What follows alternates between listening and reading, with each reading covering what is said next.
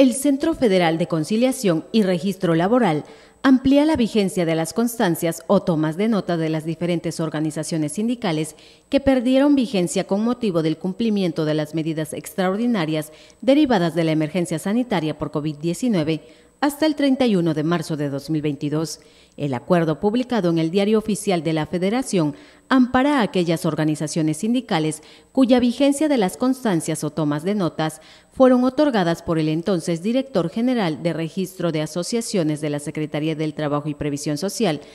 respecto a las directivas o dirigentes de los sindicatos que concluyan o hayan concluido entre el 23 de marzo de 2020 y hasta el 31 de marzo de 2022